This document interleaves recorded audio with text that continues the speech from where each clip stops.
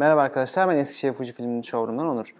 Ee, Bugün Godox'un stüdyo para flaşları var arkamda. Bunlar QT, DP, SK ve AD serisi. Bugün para alırken arkamda görmüş olduğunuz serilerden hangisini tercih etmeliyiz sorusunun cevabını vereceğiz. Ee, Bu sorunun cevabını verirken de ufak çaplı bir seriler, Godox'un para flash serilerinin karşılaştırmasını yapacağız. Ee, İlk olarak e, bu karşılaştırmayı yapmadan önce e, yapacağımız çekimler iç mekanlı mı yoksa dış mekanlı mı olacak? Bu soruya cevap vermek gerekiyor. Örneğin bir düğün fotoğrafçısıysanız ve çekimlerinizin geneli çoğunlukla dışarıda oluyorsa e, AD serilerine yani akülü para flaşlara yönelmeniz, yönelmeniz gerekecek. AD serisi 100, 200, 300, 400, 600 ve 1200 e, güçlere sahip olan bir seri. Eğer hem dışarıda eğer dışarıda çekim yapıp e, ve bu dışarıda çekim yapmanın yanında da kompaktlık ve ergonomik taşıması kolay bir e, ışık tercih etmek istiyorsanız AD serisinden bunlar 100, 200 ve 300 modellerine yönelmeniz gerekiyor. Sırasıyla yine e, fiziksel olarak boyutları da aynı şekilde sıralanıyor.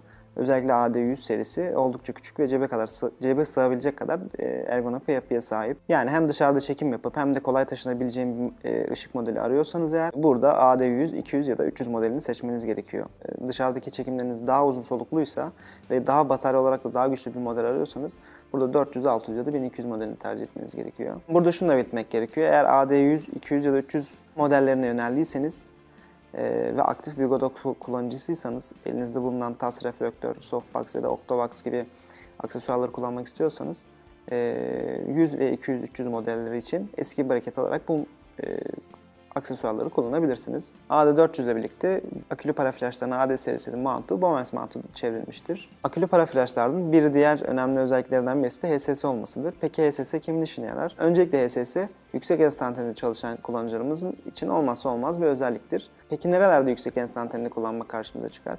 Dışarıda model çekimi yapıyorsunuz ve modeliniz hareket e, modeliniz oldukça hareketli ve siz bu hareketleri durdurmak istiyorsanız yüksek enstantanede çalışmak durumundasınız. Akülü para flash alıyorsanız eğer genel kullanım amacı dışarısıdır. Dışarıda da e, gün ışığını düşürdüğümüz zaman baz aldığımızda e, düşük enstantane ile çalışmak çok olanaklı değil açıkçası. Doğru bir pozlanma olmayacaktır. Ee, şöyle düşünelim. Bir düğün dediğimiz gibi akülü para flash alıp bir gelin damat çektiğimizi varsayalım. Örneğin gelin damat çekiminde arkayı yok ederek estetik bir görüntü elde etmek istiyorsak eğer düşük diyaframda çalışmamız gerekecek. Diyaframdan kıstığımız zaman e, bu sefer enstantane yüklenmek gerekecek. Yine bu noktada SS'ye ihtiyaç duyuyoruz.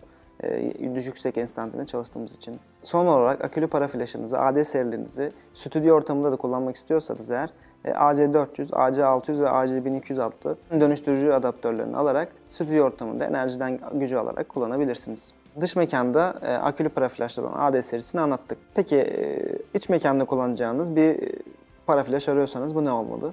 Aslında burada ne çekeceğiniz ve çekeceğiniz alanın boyutu çok önemli. Örneğin ortalama bir stüdyoda sadece dekube çekimi ve küçük veya küçük ebatlarda bir nesne çekim yapacaksanız SK400 sizin için yeterli seviyede para flash olacaktır. Peki DP400 mü yoksa SK400 mü diye tereddütteyseniz ne yapmalısınız? Çünkü ikisinin de fiyatı birbirine çok yakın ve güçleri de aynı.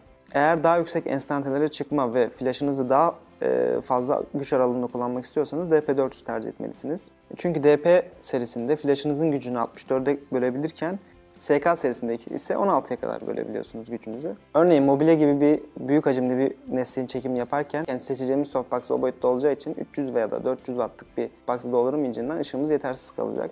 Dolayısıyla burada DP 600, 800, 1000 ya da QT 600, 800, 1200 gibi modellere yönelmemiz gerekecek. Burada ise QT mi yoksa DP mi sorusunun en belirleyici cevabı ise yine HSS. Eğer çok büyük bir stüdyoda hareketli çekimler yapıyorsanız ve modeliniz de düşük enstantanelerde yakalayabileceği hareketler yapmıyorsa e, burada QT serisine yönelmeniz gerekiyor. Veya örneğin yemek fotoğrafçısınız ve konsept bir çekim yapıyorsunuz.